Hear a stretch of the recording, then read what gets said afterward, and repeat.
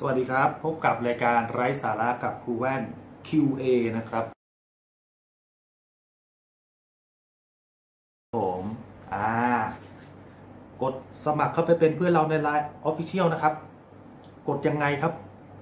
โทรศัพท์เครื่องหนึงเปิดแอปพลิเคชัน Line แอดเพื่อน มันจะมี QR code ขึ้น เข้าไปรับสื่อโฆษณาในนั้นได้เลยนะครับ จะได้รู้ว่า เฮ้ย ตอนนี้ที่ร้านมีโปรโมชั่นอะไรบ้าง มีอะไรใกล้หมดใกล้มาบ้างผมก็จะโยนเข้าไปในนั้น นะครับ ลองไปกดกดตามดูนะ ถ้าอยากถ้าอยากอะไรอะอยากรับสื่อโฆษณาอะไรเงี้ยว่ามันมีอะไรขายบ้างนะครับ แล้วก็เพื่อนใน YouTube นะครับ ตอนนี้ 1,280 คนแล้ว ใกล้แต่พันสามละใกล้แต่พันสามแล้วช่องช่องช่องคนน้อยนะครับ ช่องคนน้อยไปด้วยกันค่อยๆไป เอาทะลุเป้าแรกพันสามให้ได้ก่อนนะครับ ค่อยๆซุยไปเรื่อยๆนะฮะค่อยๆซุยไปเรื่อยๆ ช่องนี้มีกฎอยู่อย่างนะกฎเหมือนไฟขับเลย ห้ามพูดเรื่องไฟขับ คนมันก็เลยน้อย ไม่เป็นไรไม่เป็นไรคำถามเพื่อนๆครับคำถาม ยอดนิยมคลาสสิกไม่ว่าจะผ่านมากี่ยุคกี่สมัยค้าขายมากี่ปี ก็ยังคงมีคำถามนี้อยู่ แล้วก็ยังคงเป็นคำตอบที่นะอะเรามาว่ากัน เพื่อนเขาถามมาว่าครูครับเอ่อ อ้กฎหมายเรื่องการพกมีดเข้าไปในเมืองเนี่ย มันมีไหมแล้วมันพกต้องกี่นิ้วอะไรยังไงอะถามผมก็จะตอบให้ตามที่ผมพอรู้นะครับ คือกฎหมายเนี่ยผมเซิร์ชดูในออนไลน์นะ ผมไม่ได้จบทางด้านนิตินะครับผมไม่ไม่ไม่ค่อยมีความรู้แต่ศึกษามาบ้างนะครับ มีคนเขาเขียนว่าประมวลกฎหมายอาญามาตรา 371 ผู้ใดพกอาวุธไปในเมือง หมู่บ้านหรือทางสาธารณะ โดยเปิดเผย หรือโดยไม่มีเหตุผลอันสมควร พกแบบยังไงวะพกไปในเมือง อันนี้ผมอยู่ในบ้านผมพกเล่นได้ถูกไหมเอาเอาจริงไหมเออผมอยู่ในเมืองผมอยู่ในผมอยู่ในบ้านเนี่ยอะนี่ CRKT นะครับ อันนี้รุ่น5390อ่าเพิ่งมาลงที่ร้านเพิ่มเติมนะครับ เนี่ยนี่นี่ผมอยู่ในบ้านผม ผมพกมีดอยู่ในบ้านได้ไหมได้สิทำไมอันนี้บ้านกู อะ ออกไปหน้าบ้านเป็นอะไร เป็นถนนส่วนรวมใช่ไหมครับ ถนนหลวง ในนี้ก็จะมีบ้านเยอะๆมันเป็นหมู่บ้านอะก็จะมีบ้านอื่นๆที่ไม่ใช่บ้านกูอะพกหมู่พกอาวุธไปในเมืองหมู่บ้านเนี่ยออกไปข้างนอกเนี่ยเหยียบถนนเนี่ยเริ่มผิดกฎหมายแล้วนะโดยเปิดเผย หรือโดยไม่มีโดยเปิดเผยคืออะไรเฮ้ยเฮ้ยมาดูดิเฮ้ยเห็นเห็นไหมเนี่ยเห็นไหมเห็นไหมเห็นไหมมีของนะเว้ยเห็นไหมเนี่ยเห็นไหม โดยเปิดเผย ไม่ปิดเลยไง หรือโดยไม่มีเหตุผลสมควร เอ้ยว่าไงอ๋อเนี่ยเดินอยู่หน้าบ้านเอ้ยเงาวะเอ้ยเขาจะแจ้งจับเอาเงานะเขาไม่ได้เอาตำรวจมาจับอย่างเดียวเนี่ยเอาเอาจิตแพทย์มาจับมึงด้วย พาไปจิตเวชด้วยถ้ามึงไปทำอย่างนี้หน้าบ้านเอ้ยเอาไหมเอาไหมหรือพาไปในชุมนุมชนที่ได้จัดให้มีขึ้นเพื่อนมัสการ การรื่นเริงและการอื่นใด ต้องวางโทษปรับไม่เกิน 100 บาท และให้ศาลมีอำนาจสั่งให้ริบอาวุธนั้นก็ขึ้นกันไปถึงชั้นศาลได้เลยฮะให้ตำรวจเขาแจ้งข้อข้อหาแล้วก็เอานี่เป็นของกลางแล้วก็ไปดำเนินการชั้นศาลได้เลยศาลก็อาจจะปรับ 100 บาท หรือถ้ามึงมึงมึงแบบมึงเฟี้ยวมากเขาก็อาจจะยึดมึง คนที่ยึดคือศาลนั่นคือขั้นตอนกระบวนการตามนั้นนะฮะ ที่ชุมนุมชนคนมากมายคืออะไรพวกไอ้นี่ไปเขามีงานงานวัดตรงเนี้ยมึงพกแล้วเดินไปโต้งๆเลย เปลี่ยนเล่มใหม่ เล่มนั้นไม่เอาละเล่มนั้นออกจากบ้านแล้วมันไม่เฟี้ยวฟ้าวเอาเล่มนี้ละเดินไปเลยกลางงานเลย อ่า อันนี้ อันนี้ อันนี้ปกปิดกูเปิดเผยเลย ไปเลย งานวัดตรงเนี้ยงานวัดลาดพร้าวเนี่ยไอ้ยเอาไหมเอาไหม เมื่อกี้หน้าบ้านนะ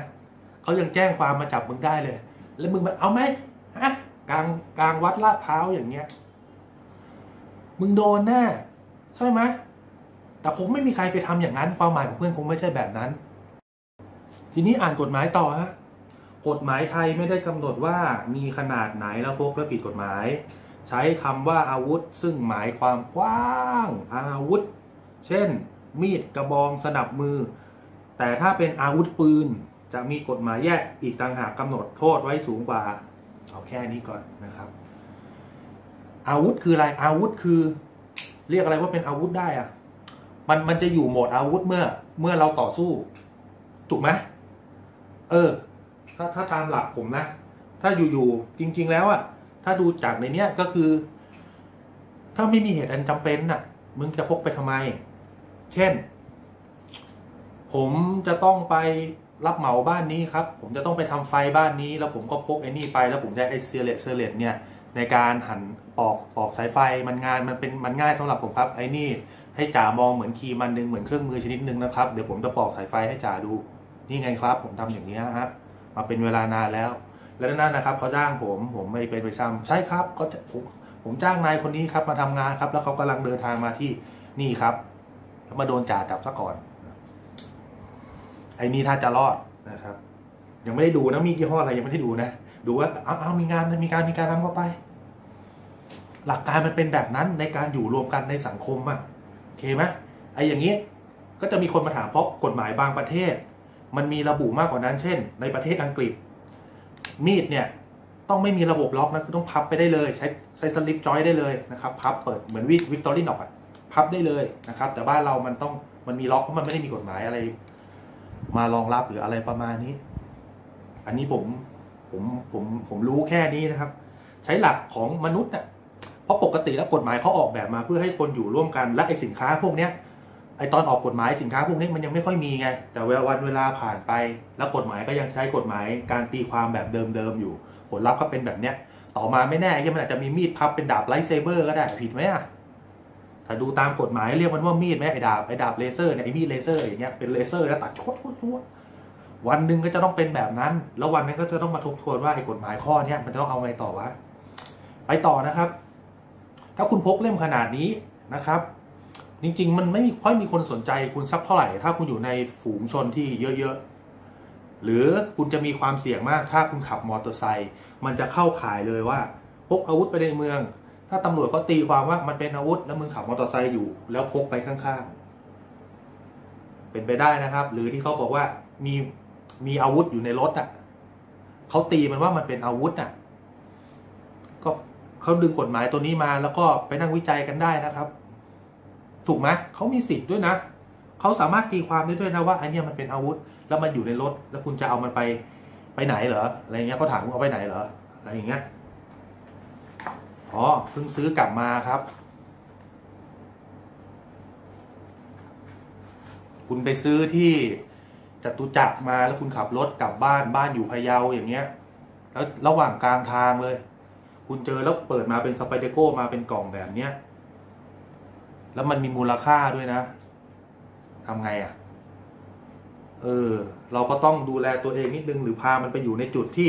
มันไม่สามารถเอาออกมาได้ก็คืออธิบายให้เขาฟังได้ว่า หรือเนี่ยผมไปช้อปปิ้งมาซื้อมารวมกับมีทำอาหารเนี่ย ผมเอาไปทำอาหาร ผมจะออกทริปออกอะไรอย่างเงี้ย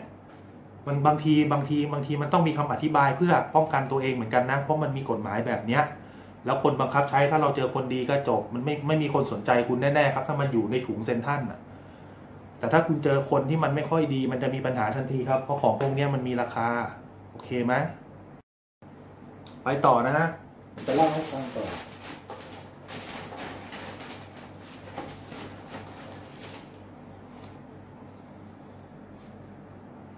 ถ้าพบว่าคุณไปเดินอยู่เซนทันแล้วคุณพกไอ้มีดเล่มนี้ไป ถ้าคุณเป็นเจ้าหน้าที่อะ คุณไม่ต้องเอาอะไรเลยนะไม่ต้องดูว่ามันในเมืองไหมคุณรู้สึกยังไง ถ้าคุณเป็นเจ้าหน้าที่แล้วมันมีไอ้บ้านนะยืนถือโคบันยืนกลางเซนทันมึงจะทำยังไง มึงก็ต้อง วอเรียกเพื่อนมาอยู่แล้วถูกไหมแม่งมีเหตุแน่ๆหรือมันไม่ได้มันไม่ได้อย่างนี้นะ ไม่ได้แบบ เอ้ยเอ้ยเอ้ยไม่ได้อย่างนี้นะ มันพกเอาไว้อย่างเงี้ย เอาไว้ข้างหลังอย่างเงี้ย เดินแล้วมันคุมแล้วมันตุยตุยแบบเนี้ย เนี่ย เดินแล้วมันตุยตุยแบบเนี้ย ถ้าคุณเป็นตำรวจคุณจะทำยังไง คุณจะขอค้นตัวเขาหน่อยไหมคุณจะเข้าไปสอบถามสารทุกข์สุขดิบเขาหน่อยไหมกลางเมืองเลยนะ ผมซื้อมาผมก็อยากพกอะเข้าใจ เข้าใจ เข้าใจตำรวจกันไหมเล็กไปครูไม่เท่าไหร่ บางทีซ่อนๆ อยู่ในเป้อยู่ไหนก็มองไม่เห็น อะ เอานี่เลยอืมอืมเอาเลย ไปโผล่กลาง กลางงานที่ชนบุรีก็ได้อะเนี่ย เข้างานไปเลยอะ คุณว่าไอ้คนตรวจบัตรข้างหน้าเขาจะถามคุณไหมไอ้อย่างเงี้ยถามแน่นะครับ หน้าที่ของเขาก็คืออาจจะป้องกันเหตุอะแต่ถ้าคุณพกไอ้พวกนี้ ติดไปสมมติสมมตินะ ติดไปหน่อย จริง ๆ แล้วอะคนพกไอ้ไอ้พวกพวกเนี้ยสไปเดโกอะไรพวกเนี้ย เขาไม่ได้เขาไม่ได้เอาไปตีรันฟันแทงใครหรอกเขาก็พกสวยๆ เหมือนเขาเหมือนใส่แหวนใส่นาฬิกา มันเป็นจิวเวลรี่อย่างหนึงคนที่เล่นพวกเนี้ยคือคือเจ้าหน้าที่เขาเขารู้นะเขาแยกออกแล้วว่าคนเล่นพวกเนี้ยเขาไม่ไปตีหรอก คือถ้าเกิดมีวัยรุ่นจับมาเลยสิบคนแม่งจับมาจากไหนไม่รู้ล่ะแม่งสมมติว่าตีกันอะ แล้วแม่งวัยรุ่นสิบคนแม่งห้าคนแม่งพกมีดแบรนด์เนมหมดอะ แล้วอีกห้าคนแม่งถือเฮียอะไรมันไม่รู้อะมีดไม่มีดมีดไม่มียี่ห้อมีดหั่นผลไม้มั่งติดตัวมั่งเอากระดาษพันมามั่งอะ เจ้าหน้าที่เขาจะแยกออกไปเลยฮะ แยกไอ้พวกเนี้ยกลับบ้านไป กลับบ้าน มึงมึงมีพวกนี้มึงไม่ไปตีเขาหรอกแน่นอนฮะ แต่ละคนมาเยี่ยขับเบนซ์ขับบีเอ็มมากลับบ้านไปกลับบ้าน กลับบ้านไป พี่ขอโทษทีกลับบ้าน ตรวจออกมาแล้วพบว่าวัยรุ่นพก CRKT กำลังซัดกันหนุ่มสไปเดอร์โก้ ไม่มีรับรองไม่มีนะครับเขาจะแยกคุณออกไปก่อนเลยนะครับ ถ้าถ้าเจอคนดีๆนะเขาจะรู้แยกเลย ส่วนในพวกอะไรอิเล็กเคขาอะไรมาไม่รู้อะคือพกเขาให้พกก็พกอะแบบระแวงกลัวจะโดนตีอะไรเงี้ยอีกเรื่องหนึงเขาก็จะสอบถามเลยทำงานที่ไหน อยู่ที่ไหนทำอะไรมีผู้ปกครองไหมไอ้พวกนี้ไม่ต้องมีผู้ปกครองหรอกมีเรื่องไหมก็วิ่งหนีแล้วกลัวตัวมีของ มีเรื่องข้างหน้ากูวิ่งคนแรกเลยกลัวเขาเหมากูไปด้วยไอ้เหี้ยกูวิ่งกลับบ้านเลย ไม่ดูหน่อยเหรอไม่ดูไม่ดูไม่ดูไอ้เหี้ยโดนยึดไปหลายตังค์เหมือนกันนะพกพกกันไปเนี่ย ถูกไหมเพื่อนๆคิดเหมือนผมไหม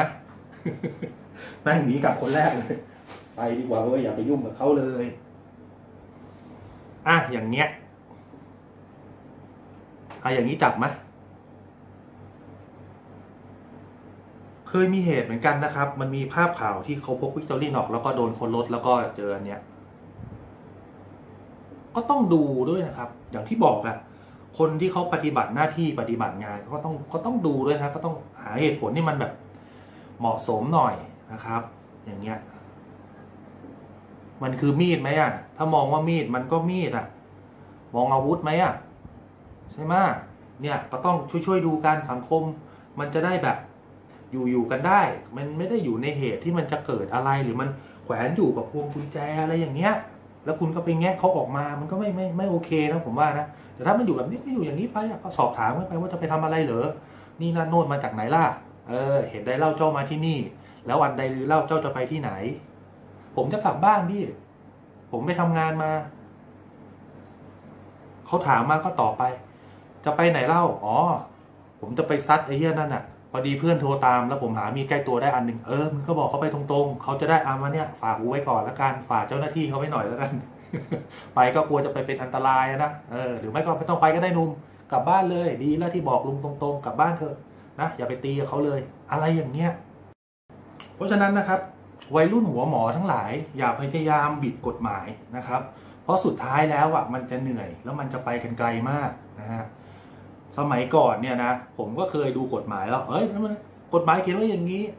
แต่ในความเป็นจริงแล้วเนี่ยนะกูโตมาขนาดนี้แล้วนะกูดูในสภาพข่าวนะในสังคมจริง ๆ แล้วการบังคับใช้กฎหมายนะ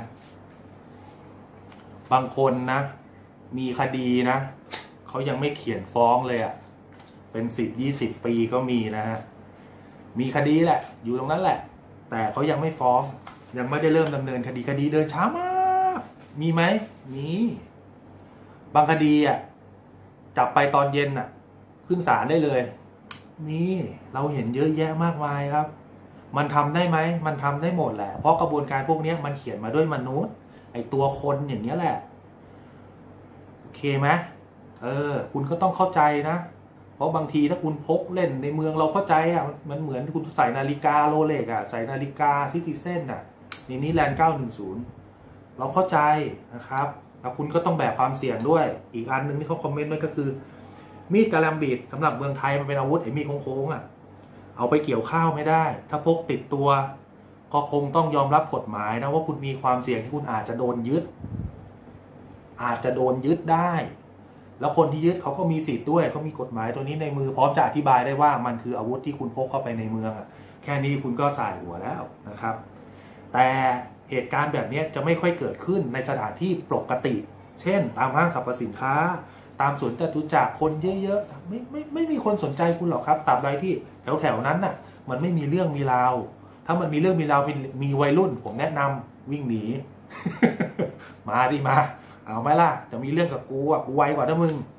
ผมขอโทษครับอ้าวใครจะมึงไวกับกูไม่มีนะกูไวสุดแล้วกูยกมือไหว้เลยจะวิ่งแข่งกูไหมล่ะ เอากูให้ออกก่อนเลยกูวิ่งตามเลยอะกูวิ่งเก่งนะมึงกาบสวยด้วยนะพูดเพราะด้วย เออ เอาเอาก็ล่ะฉันใดฉันนั้นครับ เหตุการณ์พวกนี้อาจจะเกิดขึ้นกับคุณ และก็ไอ้มีดที่มันราคาแพงๆคุณก็ระวังนิดนึง ส่วนคนที่เดินห้างเดินอะไรไม่ค่อยโดนหรอกทีเนี้ยไอ้มีดที่มันอยู่ในรถ ที่เวลาคุณพกแล้วมันติดกับตัวคุณไปอะก็ระวังนะเขาสวัสดีครับเอ่อขอตรวจสอบอะคุณก็ต้องหาที่มาที่ไปของมันให้ได้แล้วกัน ก็เท่านั้นเองสุดท้ายท้ายสุดโดนยึดไปก็ไม่ต้องไปเถียงไม่ต้องดึงกฎหมาย เดี๋ยวมันจะคนไทยคุยกันได้ ค่อยๆคุยกันนะ เรื่องมันไม่ถึงโลงถึงศาลหรอกบางทีก็คุยกันตรงนั้นแหละง่ายๆก็บอกเขาไปอะอันเนี้ยเพื่อนซื้อมาให้ของขวัญวันเกิดนะพี่มันมีความหมายกับผมมากเลยเอางี้แล้วกันนะพี่นะพี่เดี๋ยวพรุ่งนี้ผมเอาเล่มใหม่มาให้ได้ไหมแต่เล่มนี้ผมให้ไม่ได้จริงผมขอละมันมีความหมายกับผมเพื่อนเอามาให้เนี่ย มันเสียใจนะพี่ ถ้าเป็นพี่อะ ผมไม่ได้ทำอะไรเลยนะเนี่ย มากับแฟนมากับลูกมากับเมียเนี่ยนะเดี๋ยวพรุ่งนี้ผมเอาเล่มใหม่มาให้แล้วกันพี่อันเนี้ยมันมีมูลค่ากับผมด้วย ราคามันก็สูงนะพี่พี่รู้ใช่ไหมยี่ห้ออะไรอะไรเงี้ยแล้วมันก็มีมูลค่าทางใจด้วยนะผมขอแล้วกันพี่ถ้าผมไม่ได้ทำอะไรผิดเลยอะก็ต้องคุยกันนะแต่การคุยบางทีมันก็อาจจะไม่สำเร็จก็ได้นะเพราะแบบมึงอาจจะหน้าตาคนตีนเกินไปอะไรเงี้ยสวัสดีครับ